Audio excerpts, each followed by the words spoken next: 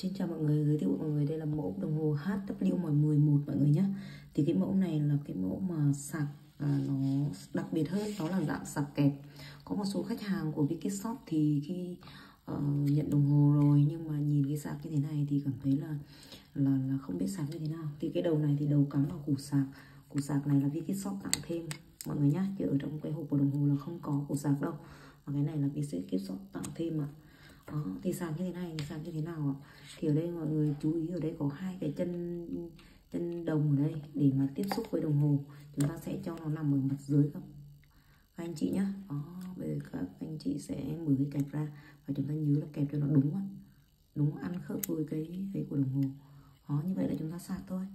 Được chưa đó cái này thì phía trước của nhau như thế này.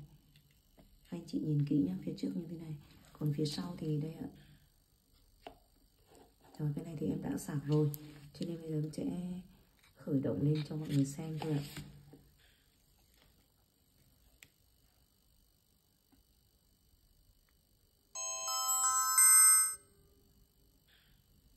Cái này là chưa có sim.